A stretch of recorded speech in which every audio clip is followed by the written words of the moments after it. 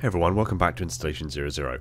I'd like to make an amendment to the video that I made regarding the Mac yields and the amount of energy required to fire them and the inconsistencies in the lore pertaining to the velocities of a fired round from a Super Mac, whereby in the Fall of Reach is referenced at 4% the speed of light. In the more recent book The Shadows of Reach, there is a reference to 25% the speed of light, and in the Halo Encyclopedia it was referenced at 40% the speed of light. However, I will yield and say that the Macs that they're referring to in the more recent book, The Shadows of Reach, that fire at 25% the speed of light, are actually the Series 8 Macs that are used aboard the Infinity. But my point still stands. The point I was making from that rant video was that the inconsistencies in the lore and the ambiguity on what velocity they are means that the energy requirement in order to fire a Mac is ridiculous to the nth degree. So the point that I was making actually still stands in that regard. I will also say that the relativistic kinetic energy calculator I used actually factors in the Lorentz equations, which centre around the idea that the faster a mass goes and the closer to the speed of light it gets, the more proportional mass it apparently carries. This is again somewhat jurisdicted by the E equals mc squared equation, basically meaning that the closer a mass gets to the speed of light, the more apparent mass it gains. So the calculator actually factors in this consideration into the final calculation. But the mistake I made was more glaringly obvious than that. In the calculations, I had the mass of the projectile referenced at 3000 kilograms, not 3000 tons.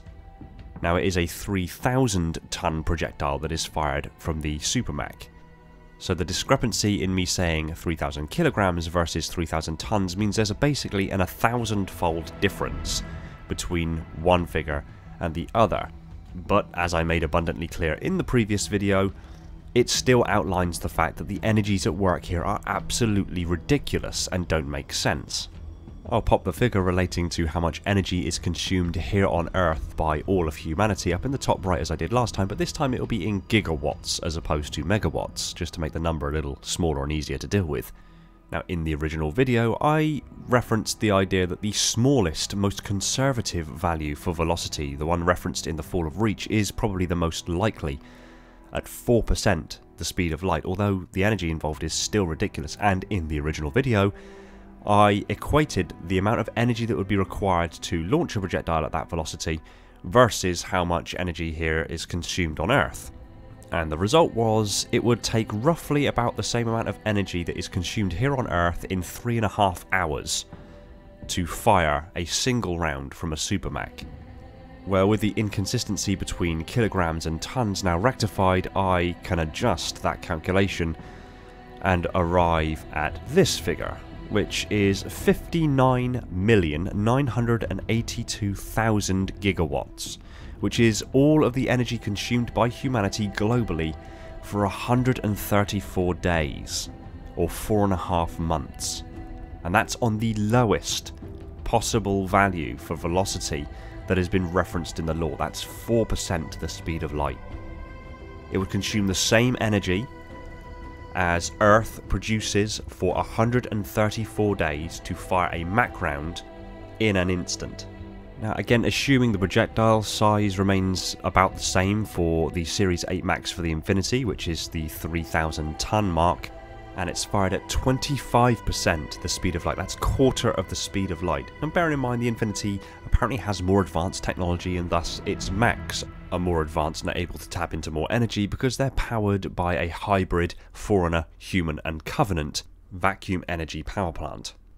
And if this is the case, then that means the energy required to fire a single round from one of the Series 8 Macs, bearing in mind the Infinity has four of them, it would take 2 billion 456 million 256,995 gigawatts, which is all of the energy consumed on Earth for 5,500 days.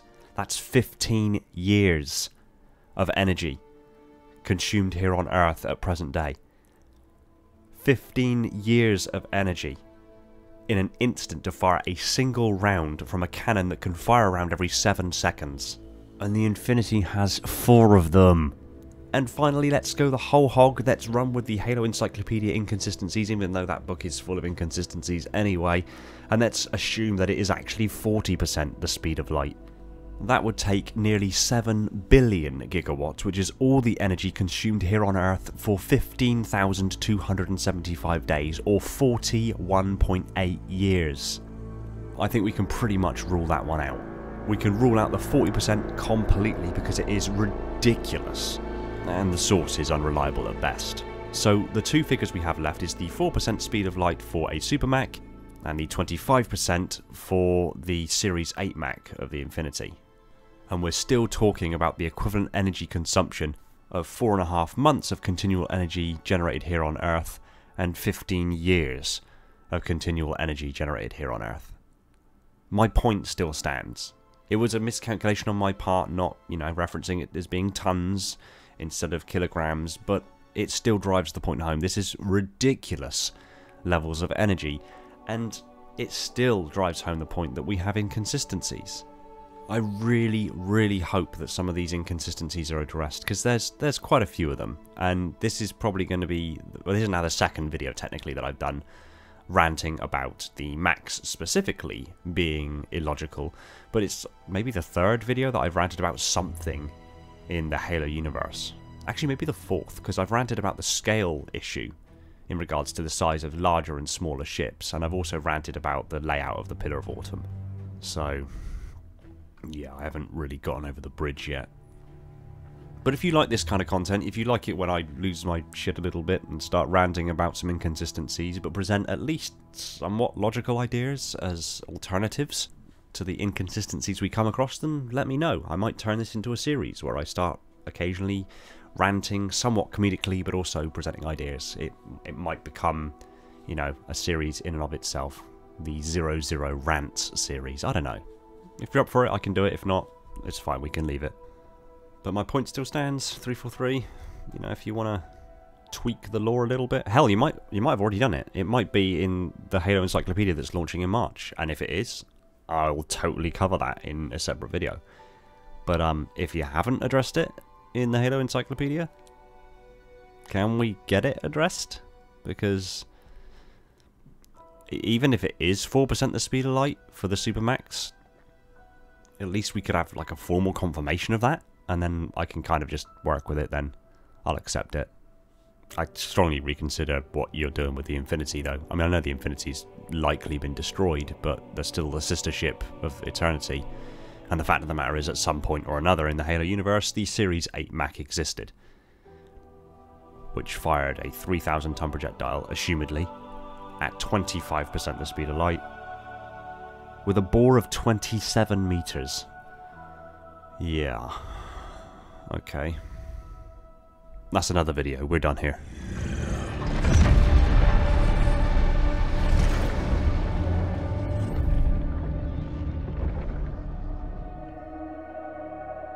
Thanks for watching, commenting, liking and subscribing. I just want to give a quick shout out to my patrons and YouTube members, Spartan10148, my Metarch, Dylan, Falcon X003, Kenwood, Irrefutable Justice, Leon, Neek, and Ramiz, my monitors. Alvin, Andrew, Brand, Brian, Cameron, Chris, Darian, Devon, Flaming Halo, Greenblood, Kyle, Legions Lost, Michael, Prophet Bear, Spartan, and Wolf, my sub monitors. My fleet of Strato Sentinels. My diligent enforcers and all the other awesome people that have jumped aboard to support the channel over at Patreon. Another shout out to Todd Morrison, my Transcendent YouTube member. And just one quick reminder to support us on all major social media channels, including Discord. Much love from Zero Zero. Take it easy, everyone, and find peace in the domain.